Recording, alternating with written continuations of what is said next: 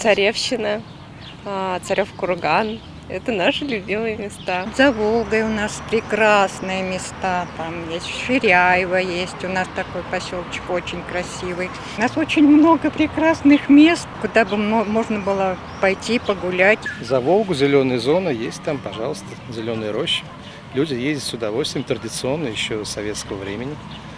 Сейчас я думаю, что они верны своим традициям. Ширяево, Подгород все традиционно. Но если отойти от Волги, то область большая. Ну, По Волге, Барбошина поляна, окрестности. Мы были в Ширяево, вот нам там понравилось. Вот это, это запомнилось, там вообще изумительно. Ну, очень красиво и зелено. Мы побывали в штольнях, вот на памятниках на всех. Мне нравятся Шигоны, это мое мнение. Там река Уса, красивейшие места, турбазы. И за Волга, и Грушинский фестиваль, ну, куча мест.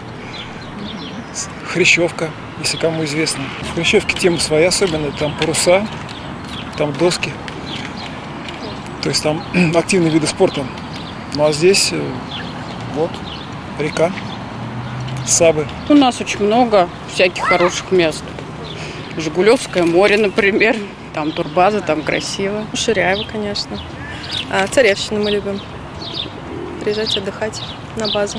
Ну, мои любимые места это именно Самарская Лука. Там, потому что веломаршруты проходят, можно кататься на велике.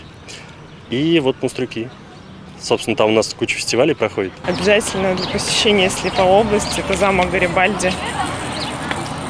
И зимой, и летом очень красивое место